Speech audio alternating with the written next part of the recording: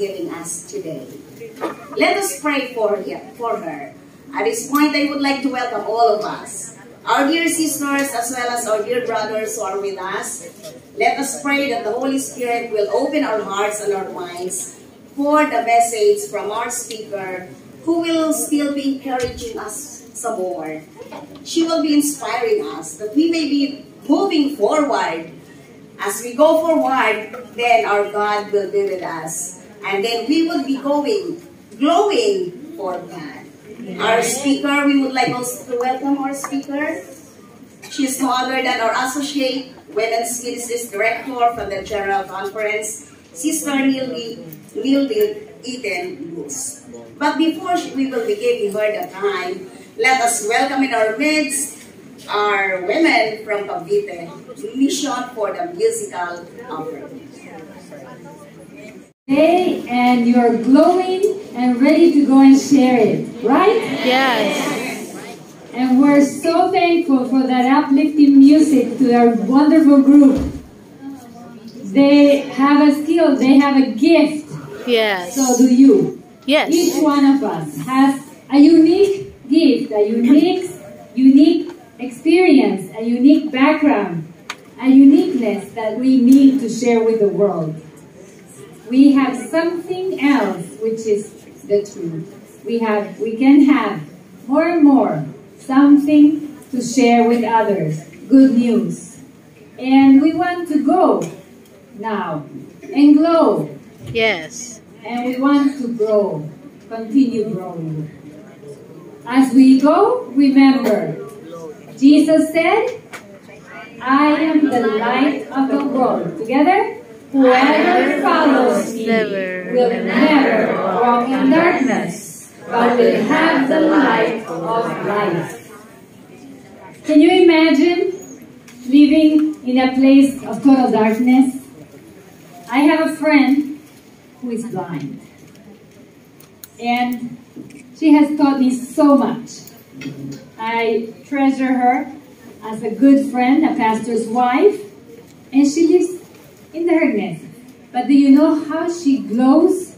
She has a ministry, she has an enterprise, she is glowing in different ways. But living in a world in a world of darkness is not the ideal. God has something better. And as I was thinking of what to share, I was thinking and turning on the light on my light nightstand, and the idea came, and my sisters have heard this, how a simple light bulb can help us remember, how a simple light bulb can help us remember that we have something to share, that we can be that light, that candle, as they just sang, that is needed in the world today. When uh, Sister White came back from the vision that she had, she said, This world is so dark. There's something better. There's something brighter up there in heaven that we are looking forward and hope to see. Because Jesus is the light of this world and the light of life. And we can be also light by His grace and power. I'm so thankful for that light bulb. Tiny, like you have right now in, in your, I think in your bag. A tiny, tiny little light. When you go down into a cave, I know there's several caves in the Philippines, and you go in there, oh my, it's dark if you don't have a light. I went once into a cave and they the guy turned off the the light they had, the flashlight I think it was, for us to experience total darkness. Nothing. You couldn't see anything. Not a, a hand right here. It was but then he turned off a little bit of light and suddenly we could see everything. Just with a tiny candle, with a tiny light, we were able to see. Because light has a purpose. God created men and women in His own image. In the image of God, He created us. Male and female, He created them. We have a purpose. We are to shine, to glow. Like Sister Virgie, glow. We have a purpose, just as that light bulb that is up here has a, a purpose.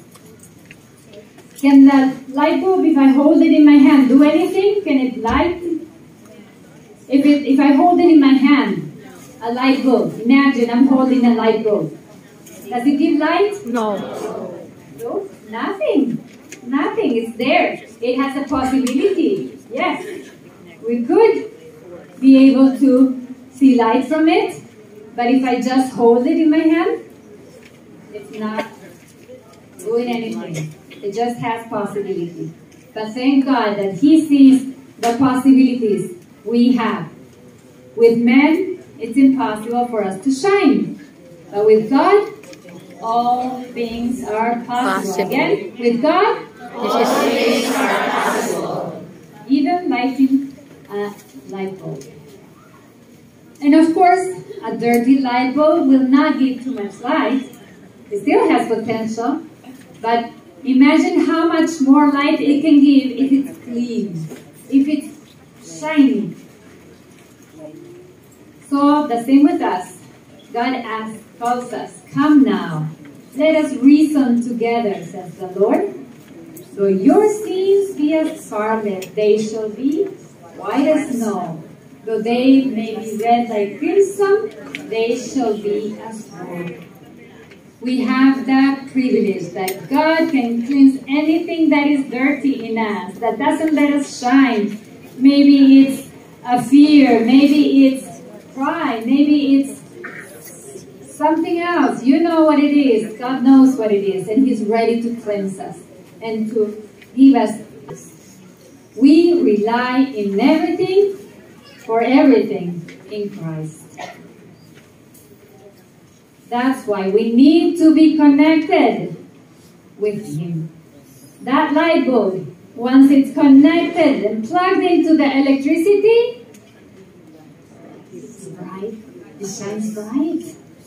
It's ready to fulfill its purpose. It's giving that light that dissipates the darkness. But it needs to be connected to the source of power. So we also need to be connected to the source of power, to the source of strength, to the source that will allow us to glow. If we remain in Him and He in us, He will bear, we will bear much fruit. Apart from me, but remember, we need to remain connected. And this is a daily, daily commitment, a daily surrender. So He can work through us, so we can remain connected to that source and then shine. Like these bulbs right now are shining, connected to the source. So go and glow. Go and share the love that God is putting each day into your heart. Go and light the world, as we just heard in that beautiful song. Go and do a kind deed. Go and share the evangelistic program that you are just being trained to do. You can do it because you know who is with you. You know which source of energy you are plugged into. You know who goes with you, who is with you all the time. And go and glow. So don't just stay there, you know, share. Share inspiration. Share with others what God has done for you. Share what you have learned today. I know you are leaders.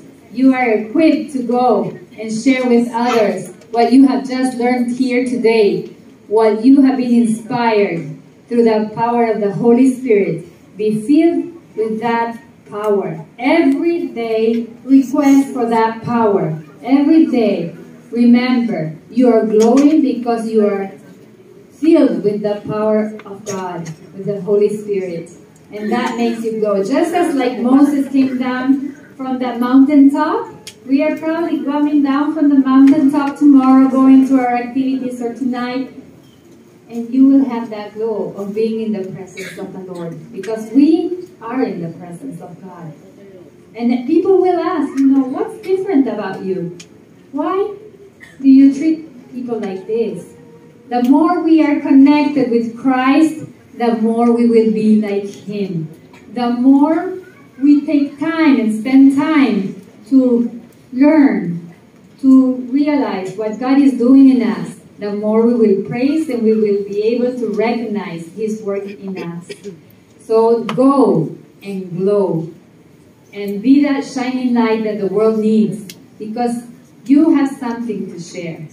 You have been equipped to do that.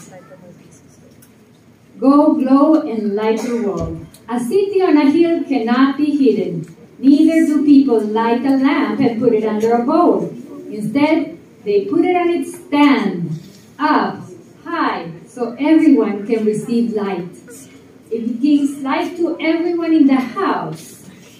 That's where you start in your circle of influence. You are all influencers. You know that modern term.